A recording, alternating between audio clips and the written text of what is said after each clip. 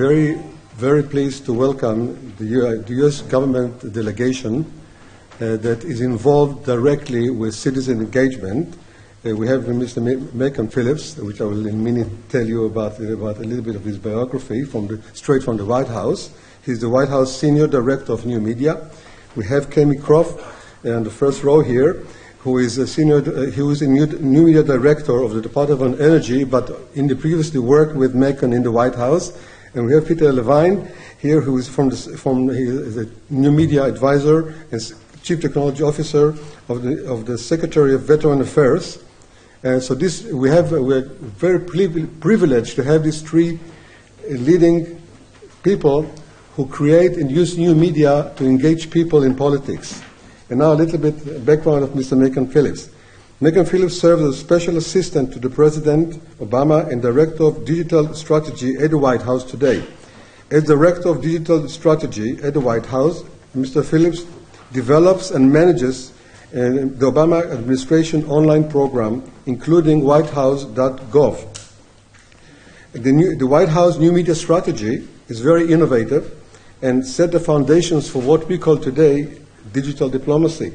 So we made a great contribution to our academics so we can study what you're doing, and we call it digital diplomacy. Uh, Mr. Phillips ran the new media program for the presidential transition team, change, change.gov, and served as a deputy director of Obama campaign new media department. Prior to the campaign, Mr. Phillips led Blue State digital strategy practice, working with clients like the Democratic National Committee and Senator Ted Kennedy. He is an AmeriCorps VISTA alum. And It's, it's, a, it's a group that deals with uh, fighting poverty in the United States. Uh, he's an Alabama native and a graduate of Duke University. We would like to thank the head of the Digital Diplomacy Department the Foreign Ministry, Mr. Yoram Morad, right here. Uh, thanks to him and to the new media director of the Prime Minister Office, Dr. Eitan Eliram, uh, who really uh, gave us the opportunity to host this uh, great team at, at our school today. So we are very thankful to, to you, Yoram, and to you, Eitan, for bringing this uh, team to us here. And uh, so, Mr. Macon Phillips, I know we keep you busy all morning. Uh, thank you very much for agreeing to talk to our students. Please, thank you.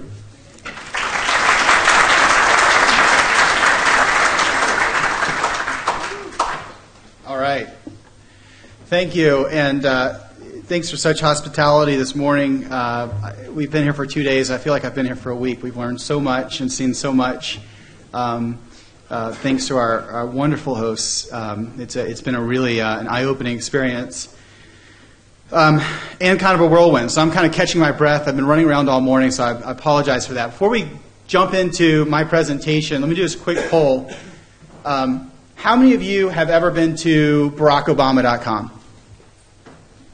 All right. Now keep your hands up. If the, how many of you have been to WhiteHouse.gov? Hey, all right, that's good. All right, so this this is a big difference just from the outset before I dive into my presentation that people should understand.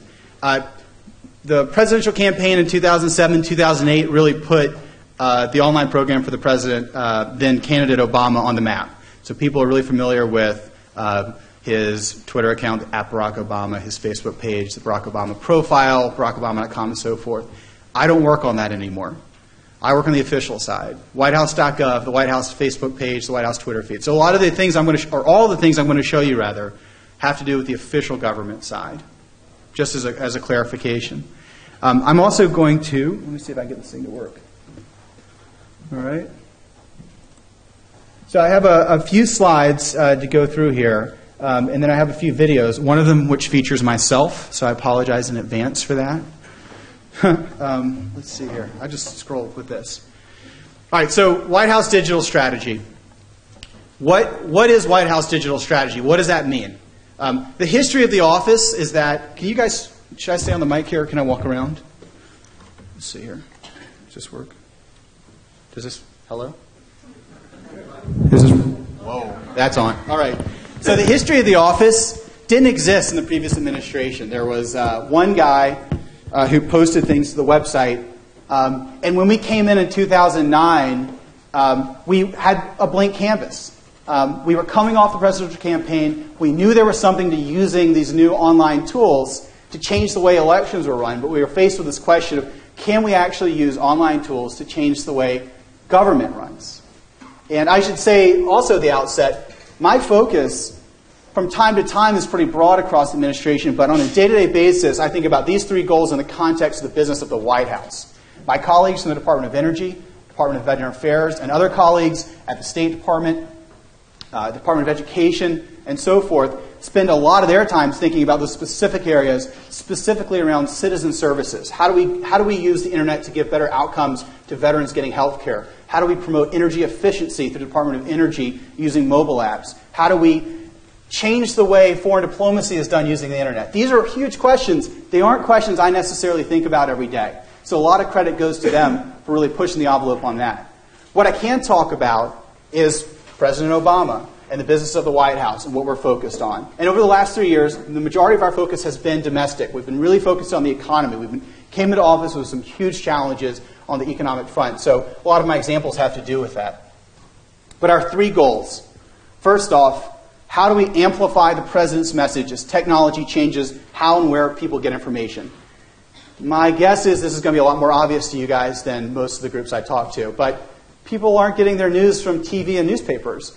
Uh, well, rather, many people are, but an increasing number of people are getting it from other sources. And we want to make sure that we have a voice there. We want to make sure that as people are learning about issues on social media or an email or what have you, that we have a presence there.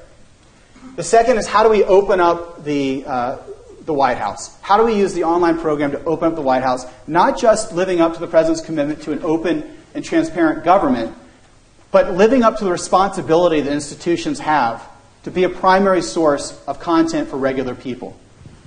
You know, and I'll have some examples about that too. Then the third is the most exciting. How do we use the online program to create meaningful opportunities for people to be able to participate in their government? This sort of gets back to how we change the way campaigns are run. Can we actually have an impact on how government works? So to achieve these goals, we organize the teams this is sort of a, this is a good example of, of the evolution of our team. We have four competencies, and really we should probably have three at this point. Um, the first has to do with content. So, copywriting. You guys know this as, as well as anyone. It's really hard to write good copy for the web. It's really hard to take complex issues and write them into plain English, or I guess plain Hebrew. Um, you know, it's, it's really difficult to take that and make it something that people who haven't studied an issue can immediately get. It's hard to write scripts. You know? So we have folks who sit, sit down and think about that on a daily basis. They curate the blog. They, they try to find interesting stories from around the government and, and, and really invite people to publish on the White House site and otherwise. Uh, we have our video teams there. They're doing a lot of editing and shooting. The second area that we have is our platform. Platform has our creative director. Just a, a secret, it's not so much a secret, but a tip. Beautiful design matters. It really does. Are there any graphic designers in the room? Kind of aspiring ones? The rest of you should become friends with that guy.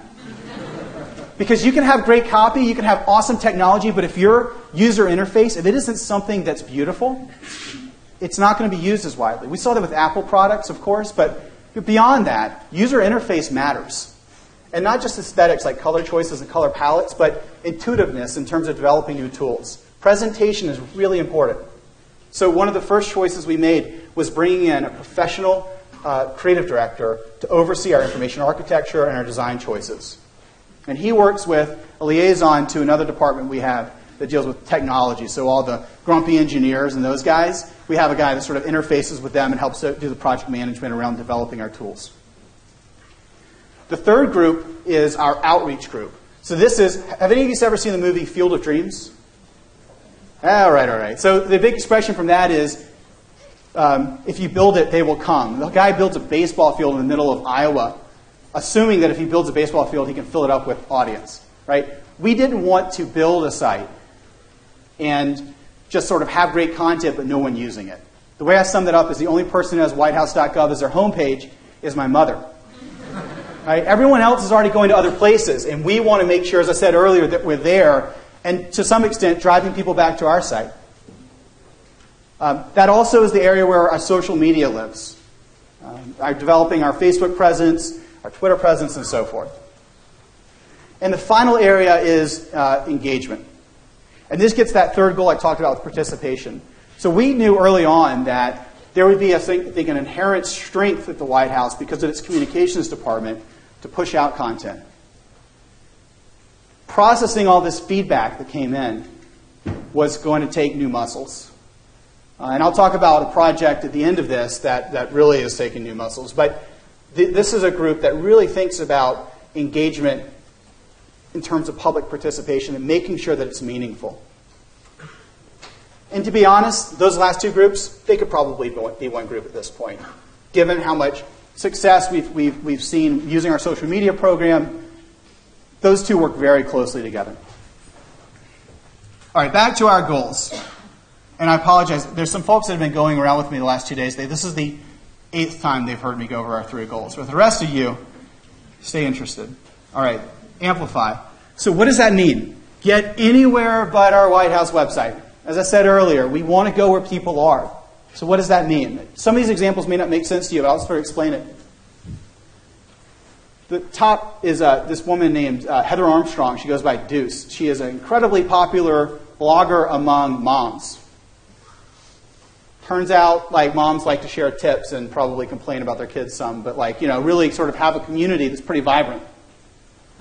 And uh, we have a lot of issues that matters, matter to moms, whether it's healthcare or education or otherwise. We actually reached out to her and did an interview on Twitter where she posed questions and we answered them, but she retweeted the answers to, uh, yeah, I think she has like 200,000 followers. So it was sort of using a traditional media model in a new media way to reach an audience that frankly probably wouldn't have other, otherwise reached. WebMD.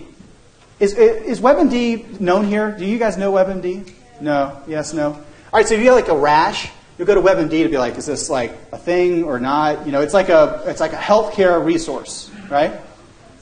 So when we're talking about health, I don't have any, I don't have a rash, just so you know when we're talking about healthcare reform, we can spend all day talking to policy wonks about it, and we do.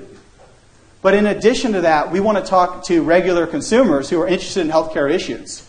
We want to reach them in a context where they're thinking about healthcare, and we can talk to them about larger healthcare policies that might impact them, whether it's free preventative care, whether it's sort of more tools on their insurance system, what have you. And I know healthcare as an issue is a little bit different in every country, but for us, it's a pretty big deal. Epicurious recipe site. First Lady has a um, initiative to combat childhood obesity, and she wants to get recipes out there about healthy meals. Epicurious is pushing recipes, and it's a huge online community. That's a great opportunity for us to work together to make sure that we're helping get that information out. Good. Do you guys know good? All right, if you're interested in graphic design, communication, and just new ways of, of communicating, this is a great site great, smart people there. Not the biggest site in the world, but it reaches a very select group of people that are interested in infographics. They're interested in new types of online engagement. It's called good.is. Good is. Check it out. For us, it was a great way to reach a small group of influential experts uh, around an issue, which sort of goes to one of the lessons. You know, online reach isn't always about aggregate numbers. It's not about whose audience is bigger than whose. It's also about who that audience is. You can actually have more meaningful interactions with 2,000, 3,000 people, 200, 300, rather than 300,000 or 3 million. It just depends on what your goal is. Uh, Hispanic Roundtable.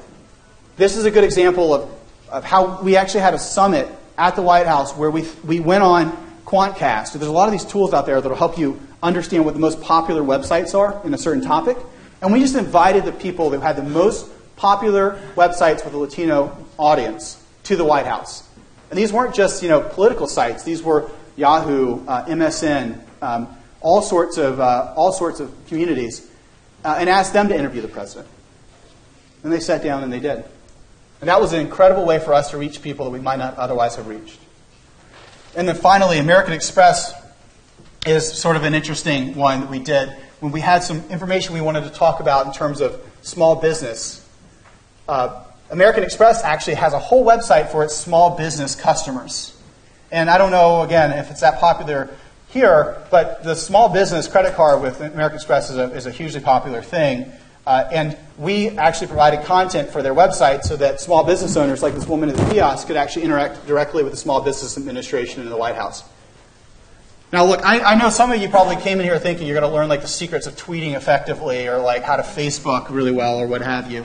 I kind of put this slide at the beginning to point out that a lot of the interesting work being done is at the sort of macro level, right? It's at the, it's at the big piece level. It's realizing that just because you have a website doesn't mean that all your business needs to take, be, take place on your website. The internet is an incredibly exciting place Particularly sometimes when you can find these cool opportunities where you don't need to do a lot of work. They're just interested in talking to you. But of course, we're on social media. And, you know, we're, we're on a bunch of different services. I can talk about each one specifically. I'll bring a few up in the context of specific examples. But I'm going to try to save some uh, room at the end for questions. So we'll, we'll come back to this. One of the cool things that we've started doing, um, I just wanted to point out, is uh, tweet ups. And um, so with tweet ups, we have, I think, over 2 million people that follow us on Twitter. And when we have cool events at the White House, we'll actually post to Twitter, who wants to come? And people are like, what? You know? And we get thousands of responses from people that say, I want to come be a part of that. And they fly in from around the country to events like this. And I don't know if you guys can read this, but it says, stood in the rain three hours here at the South Lawn of the White House, soaked to the skin, totally worth it. This is the guy taking a picture of his phone of meeting the president. You know, for us, that's important because it's connecting our online program with an offline reality. Now, when these folks come, many times they also get policy briefings, which is interesting because we're able to explain our policy to them. That's like one value, right? Our policymakers are actually able to hear reactions they might not otherwise hear from people like regular people asking regular questions, which is a second, second value. The third for our content team is sort of derivative of that. We get to listen to how regular people approach these issues and develop content moving forward based on that. So there's a lot of value in getting uh, these folks here at the White House, in addition to just giving them incredible opportunities to take pictures and, and meet the president. We also have a mobile app. And to be honest, I think we could probably stand to develop a little bit more in our mobile footprint. But uh, it takes technology resources, and we've just been pretty um, conservative in terms of our investment in our mobile uh, footprint. Our site is, is uh, optimized, so if you look it up on your BlackBerry or your iPhone or whatever, it renders in a way that loads quickly and that sort of thing, which is good. And we also have an iPhone app that can push notifications, and it also provides live video. So what's cool is, if the president has something to say, we can actually hit a few hundred thousand people that have our mobile app, tell them the president's saying something right now, they hit a button and they're watching him live. That's pretty cool at least I think, I'm biased, right? I get paid to do this stuff, but I think it's cool. All right? So, how we think about our job being open. So, last night, I just wanted to check my math on this. I, I mean, I, I can't read any, any, like, I don't know what all this means, but it's Google. You guys know this page, right? So, if you type in Obama in education, you get Wikipedia, and the second result is our website. And when I talk about the responsibility institutions have to have content, that's what I'm talking about. People are interested in what the president's doing about education. Increasingly, they're going to start doing exactly what I did and seeing this link. And what they find on that page is incredibly important. Didn't used to be, it is now. And if they find something on the page that looks like that, right? That's not, that's not really going to work out. So, how do we actually take this, right, and make it more interesting? Make it something that's accessible to people. So, this, this is a representative of three sort of types of content that we've done. First is an infographic. I'm sure you guys are familiar with these infographics. These are challenging because once you do one, everyone wants another. But it's really tricky to come up with the visual metaphors and the sort of charts that really help get an issue across. It's easy to skip over the hard work of actually thinking about what communicates the point you're trying to make and just put together something slick that looks nice and put it out. So we spend a lot of time thinking about how we can visualize this stuff. So again, I don't know if you can read, but this was an infographic about exports, and we decided to sit down and just show Americans where this plane uh, was flying, where we're selling our Boeing jets to to, to really visualize the idea of exports. And of course, to show trend lines and that sort of stuff. The White House whiteboard. How many of you have ever seen a White House whiteboard? Awesome. All right. That's like three more than last time. Um, um, you should check them out. I mean, they're, they're not like, they're certainly not like things that are going to make you laugh and you're, you know, that sort of thing, but they are, they are, they sort of born of this conversation we had when we were thinking about policies, and we would invite guys like Brian Deese, who's this whip smart economic expert, to our office and say, Brian, what is the buffer rule? What are these issues? And the first thing he would do would be grab a pen and show us. You know? We're like, why, why can't we just do that and stop there? Again, less work, you know? It actually wasn't. Making these videos a lot of work, as many of you probably know. But the idea was how can we keep it from turning into one of those press releases and actually turn it into a visual lesson? So we've done a number of these on a range of issues, um, every, every, everything under the sun.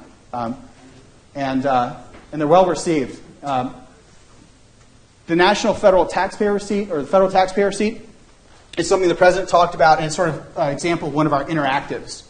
So, making issues personalized to people.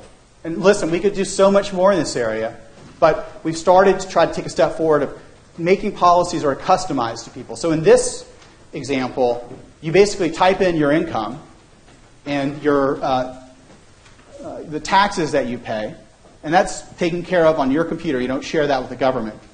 And based on the portion of uh, federal spending, you get to see to the cent how your tax dollars are spent on issues like foreign aid, education, defense, all sorts of things. Um, and then we get feedback on that and share that internally.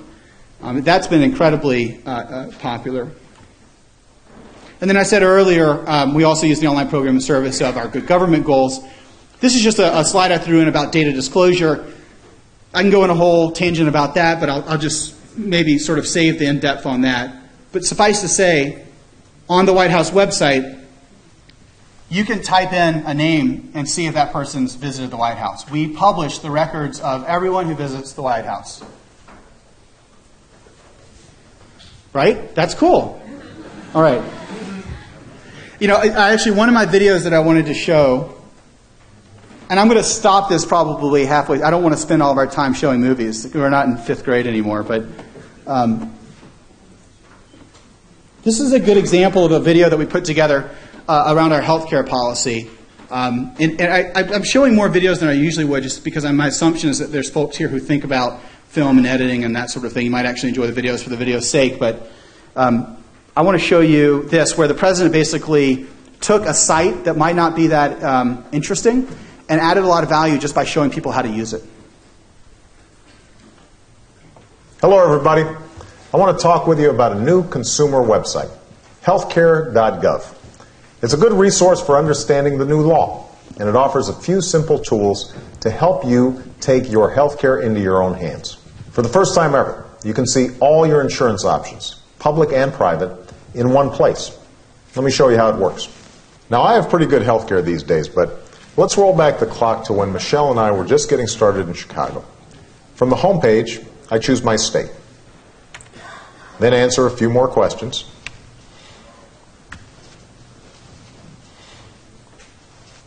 I know you guys are riveted, but I'm going to stop it there. My, my point is that, you know, you, you again, you can put out these tools and these content, but oftentimes just showing people how they work in a very plain language way is incredibly important. Um, and, and this is a good example, one of the, one of the um, examples of us connecting the work of the White House and actual new citizen service. So this was incredibly important that we communicated because it was a new resource for American citizens that had, had come from the Affordable Care Act. Um, again, I don't want to get into much about healthcare policy, but allowed them to sort of learn more about healthcare insurance and find the best deal for them. All right, so this is the exciting part how do we create meaningful opportunities for people to be able to participate in their government? And one of the, um, one of the sort of uh, large examples that sort of brings together a lot of these pieces uh, is what we do around the State of the Union. The State of the Union is the biggest speech the president gives every year. It's a speech he gives to uh, Congress.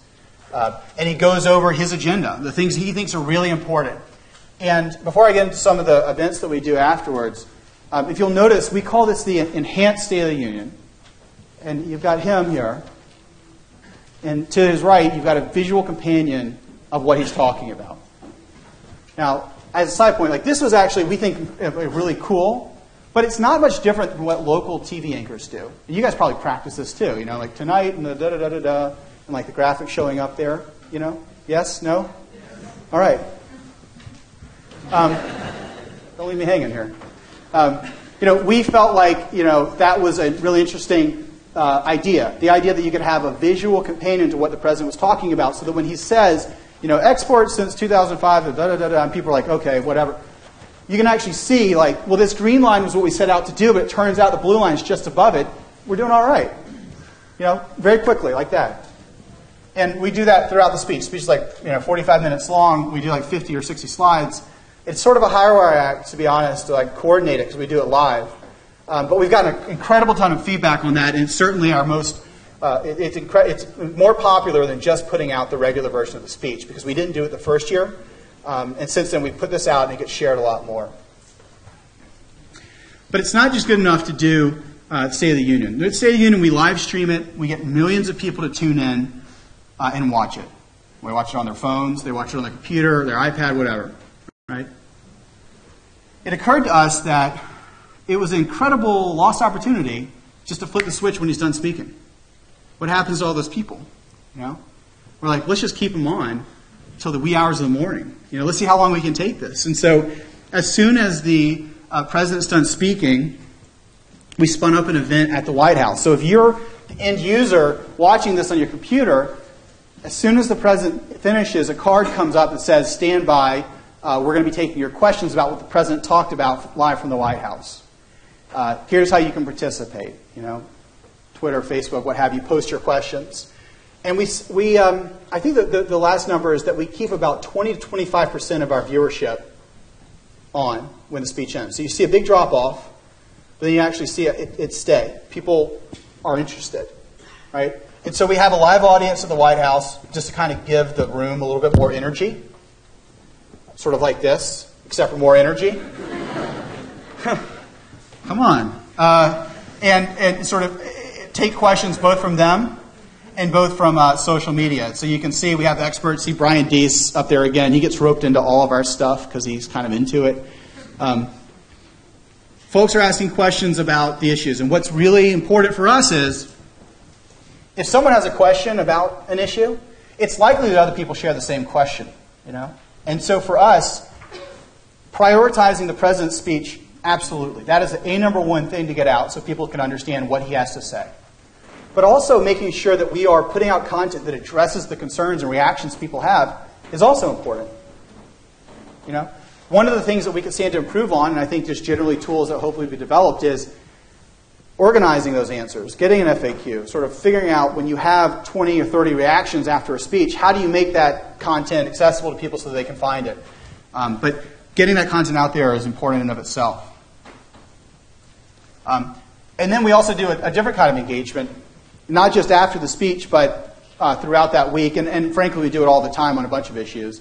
Uh, we call it White House chat. I was saying earlier, it's sort of like office hours here uh, or at schools. Do y'all have office hours here? Yeah, okay. So the idea is like, we don't have sort of this ambient sort of online footprint where it's like, fire a question at us and we'll answer it. We just, we don't have the resources to, to do that. So we don't set that expectation. You know, it'd be sort of like your professor saying, whenever you have a question for me, call me on my cell. Are there any professors that do that here? Yeah, all right, okay. Yeah. So for us, we set uh, an expectation. We say, look, we're going to have an expert um, sitting in a computer, looking at your questions, posed on that hashtag, and answering them as they come in. We do it for 45 minutes, an hour. We see hundreds of questions come in. We answer as many as we have time for, uh, and uh, they, they range on a whole uh, host of topics. And then, of course, we've done some other really cool events I just wanted to talk about briefly. Um, up here uh, is the uh, YouTube uh, event that we do. Um, the first one of these we did was in March of 2009. How many people have heard of Google Moderator? Google Moderator? All right, I'm giving you a lot of cool stuff to go check out, so just check it out when you're done. It's pretty simple how it works. Google Moderator, how many of you have heard of Hot or Not? More. Okay, good. Yeah, I figured. So, So the way that Google Moderator works is you can pose a question and you can vote on questions. So um, if you have a question, you just submit it to the form. But when you go to the site, it also presents a random question somebody else submitted, and you can vote, I like that or I don't like that. Right? It's a basic, basic thing. Hot or not works the same way. Is this person good looking or not? And, you know, they rise to the top or not. Um, when we put this out in March of 2009, we had over 200,000 questions submitted. I think we had nearly 3, 3 million votes. I don't remember if it was 2.3 or 3 million votes. People were just sitting there choosing which questions they wanted to see, and, and the sort of wisdom of the crowd, over time they rose up. And the president answered the questions. Who can guess what the most popular question was? Anybody? All right. Marijuana legalization. Seriously. This was something that people cared about, right? At least online, and they were, they were ready to organize around it. Uh, and the president answered it. Uh, and, the, and the president answered a whole range of issues. We didn't control what he was going to talk about. We had a whole event at the White House about this. His answer, and his answer has been uh, consistently that he thinks it's a legitimate debate, but he doesn't support legalization. And in the context of this event, he also pointed out that he didn't think it was um, um, the right way to solve our economic issues because it could have been printed, pointed in the, in the context of taxing it and all that sort of stuff. So he addressed it. And, and honestly, like a lot of people didn't like his answer. That's okay. At least he's answering it, right? It's progress. So, bunch of questions come in, they get voted on. The most popular ones rise to the top. We now do this after the State of the Union with videos, and we invite YouTube in, and uh, they sort of run the process in terms of uh, you know getting the tool out there, making sure they're getting the right videos and the questions there in front of them, and then he answers it a few days after the State of the Union, after it's had time to be watched. So we publish the on-demand version. We'll get two or three million views of that thing. That's when uh, you know we want to get people's questions after it's had a week to run. And then, uh, how many how many use you use Google Plus? Is it sort of happening here yet? No. Yes. No. I know. Yeah. So Google Plus is really interesting for a few things. You know, it's it's it's um, one is its impact on search, which I think is a, we're seeing the beginning of, and, and, who knows where that will go. But Google as a search engine, obviously very important. The notion of identity around the Google system, very important. Having content that comes up in those search results, like the White House search result, associated with identity, is an interesting concept.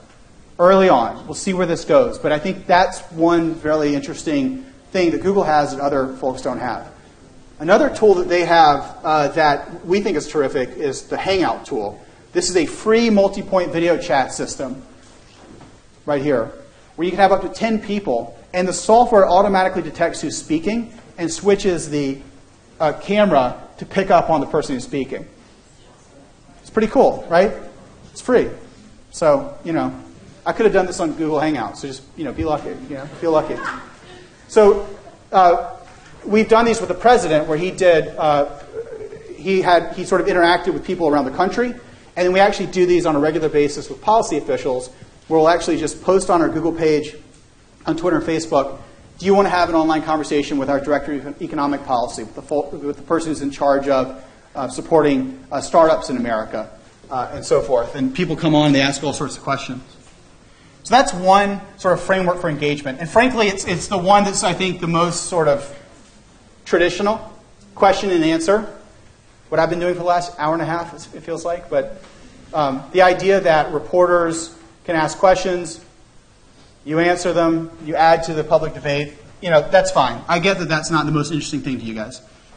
Um, it's, it's, there are more interesting frameworks I'll talk about. But the idea of engagement goes from this model, right, the broadcast model, and to some extent, sort of the like raising awareness model, to these models.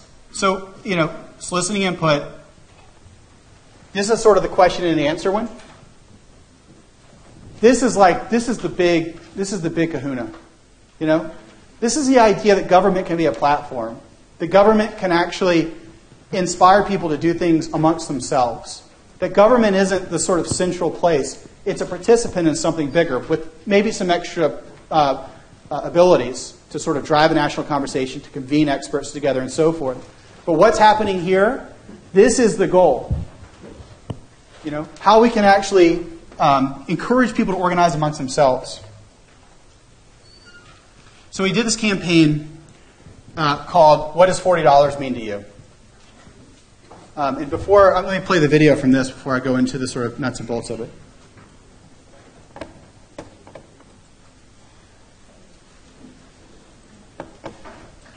I'm a perfect example. Actually, before I go into it, I'm going to give you just a little bit of background on the policy. I just realized you guys won't have any context for this. So, in the United States, we recently had a policy debate. There was a tax cut in place for people on their payroll taxes. If Congress hadn't acted to extend that payroll tax cut, it would have meant that, on average, Americans would have had $40 less in each biweekly paycheck. That was the issue.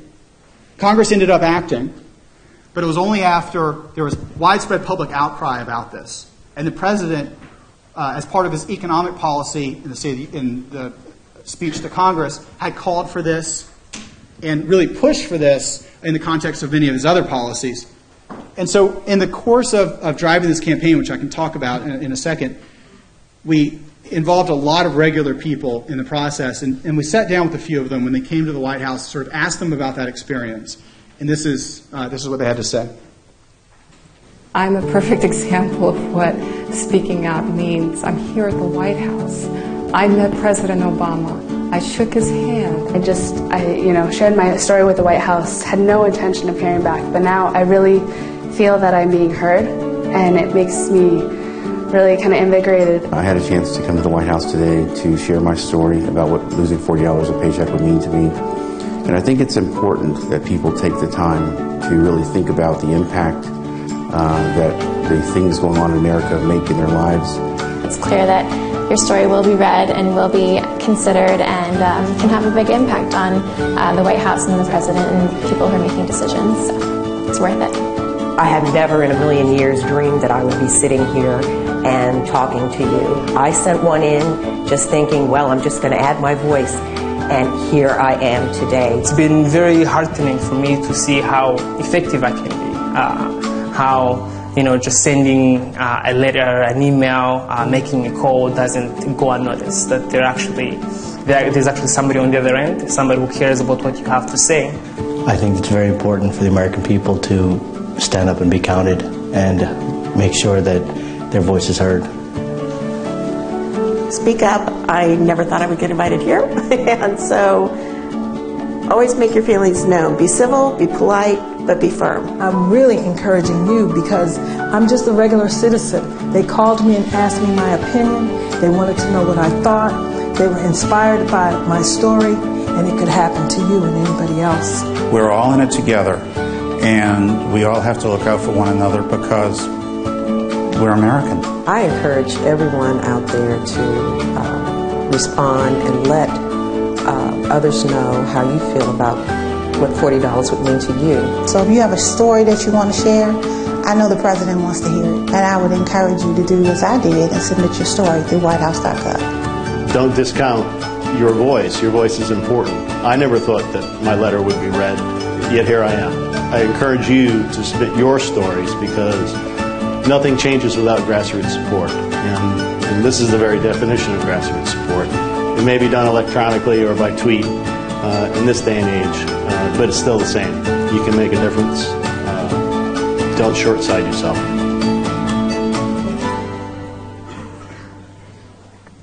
All right.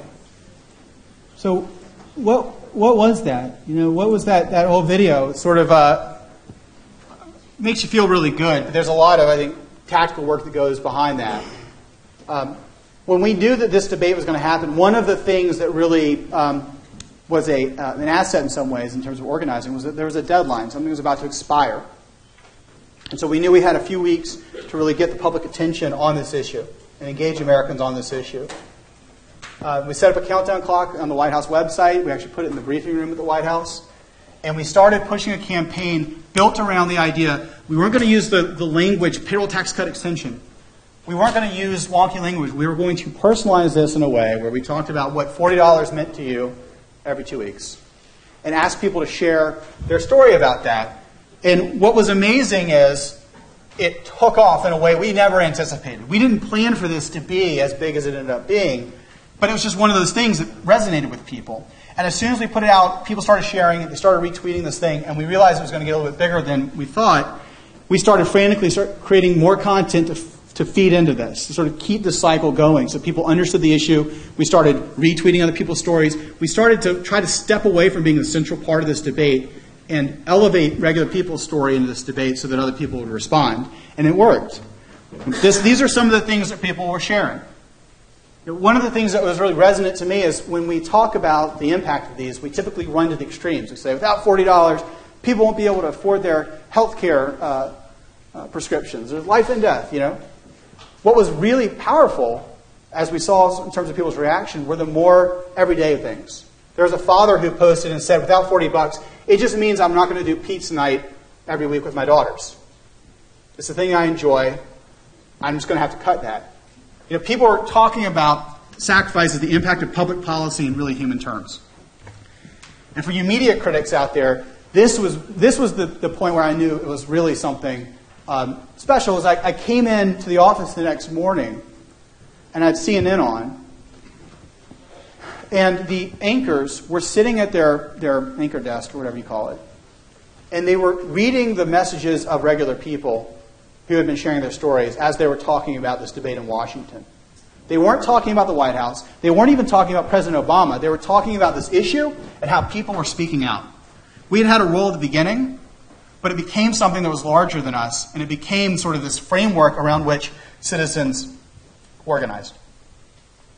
Since then, we've really started pushing this framework even more. We recently had a uh, um, campaign around college loans, and the president, in his speech, said, All right, we have a hashtag for this. It's don't double my rate. What is it? And all the students were like, Don't double my rate. You know, back and forth. So you're going to see more of this. It was an incredibly uh, uh, instructive lesson for us. Uh, and, and you know, as you saw in the video, it was really important to us that we recognized you know, who really drove this uh, and, and invited a lot of the people who, who spoke out to the White House. And so I want to uh, also talk about We the People. And this is the video that has me in it, but I think the video actually does a better job explaining what this is than, than, uh, than I could up here. But in, in, in, the simple point is that we, we've talked about two frameworks of engagement. One is answering questions, the second is raising awareness. The third that we're really interested in is how people can impact policy, how they can actually drive what's happening at the White House. And if you set up a forum and you say, hey internet, what, you know, what's on your mind? You can imagine what you're going to get. Thousands of responses. Right? Thousands. So we came up with a framework that actually set expectations so that people could organize around ideas and show us which ones were the most popular in a similar way to what we did with the question and answer in Google Moderator. We the People is an online petitioning system that allows anyone to create a petition for the White House to take action on any uh, possible federal issue pretty wide scope. The only thing is, we, we respond to petitions that have reached a thir- certain threshold in 30 days. We started off with 5,000, and we got so many petitions, we actually had to raise the signature threshold to 25,000. We've had over 100 petitions that have reached that threshold. We have over 2 million users that have already used it. We just launched it in September. And one of the questions that we get from this is um, are these real? Like, you know, like, is this as a gimmick? Are you like just doing this petition thing? And like, we know it's not because we spend a lot of time working within the White House to kind of change the culture of the White House to actually make this interaction meaningful. And so what we did is we put together a video to explain to people actually what happens when the petition comes in.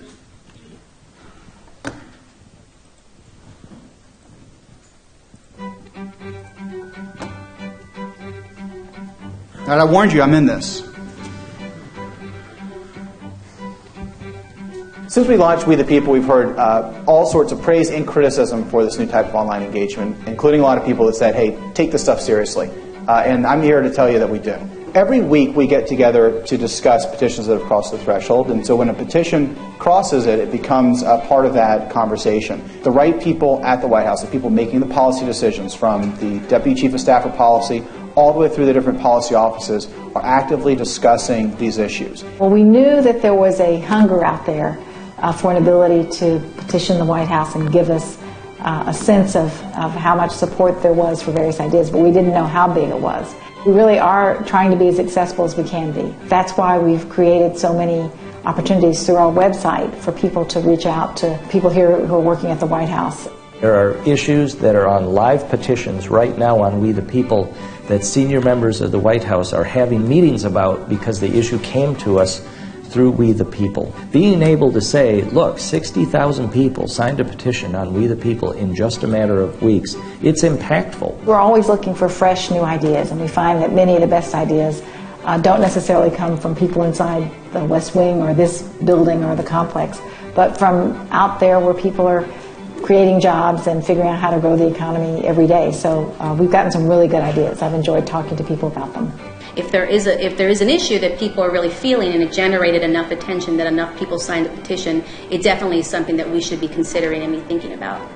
If you get enough signatures on a petition, it gets on the White House's radar. This is new to something like the government. Uh, to be able to use the internet to rapidly scale the amount of voices that can be brought into everyday discussions here at the White House.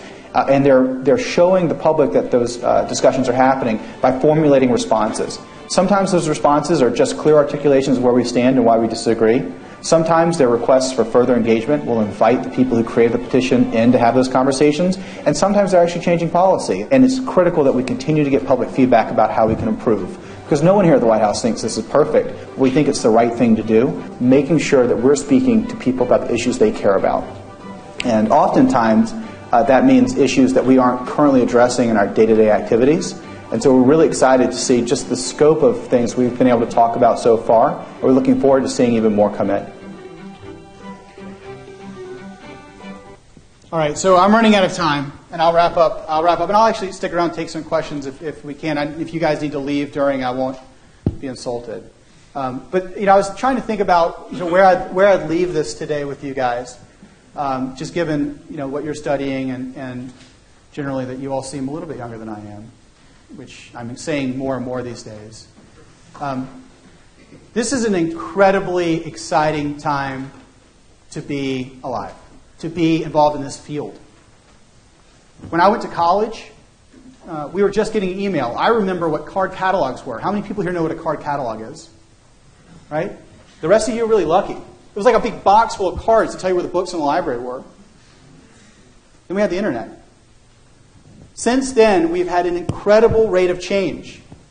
When 2005 I came, we didn't know how to put video on the web, then YouTube happened. 2006, we're trying to figure out how to reach people on Facebook happened, Twitter happened. Now we have Foursquare, mobile payments. All of this stuff is rapidly changing the way we communicate, but it's also rapidly changing the nature of relationships. In terms of the industry, you should all recognize that given the fact that you've grown up natively in this, you're incredibly valuable. You intuit the things I have to spend time and effort on understanding. Don't sell yourself short on that. That is an incredibly important thing. You understand the social norms and mores and, and the things about how people use this stuff in a way that executives don't. And, and they look for, they understand the overall arching goal, but in terms of tactics, they're looking for this expertise, and you live and breathe it. So, if you think about where we were 10 years ago and where we are today, and then you pause and you think about where we're going to be in 10 years based on this rapid rate of change, it is an incredibly exciting time. And it's been an incredibly exciting few days to be here. I, am just blown away by both the government uh, of Israel, but also the country, learning about what's happening here. Uh, it's, it's just been an incredibly valuable uh, opportunity for all of us. Um, so we really thank you for the time, for listening to us. I'll stick around and answer questions. But again, if you need to take off and leave, no problem. But thank you very much.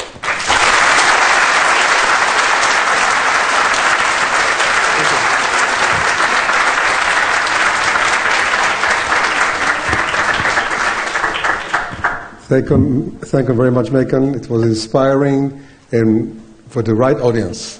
And we appreciate very much all of you, Cammie, Peter, and we appreciate uh, our friends from the government, uh, Eitan and Yoram, for bringing this tremendous group here.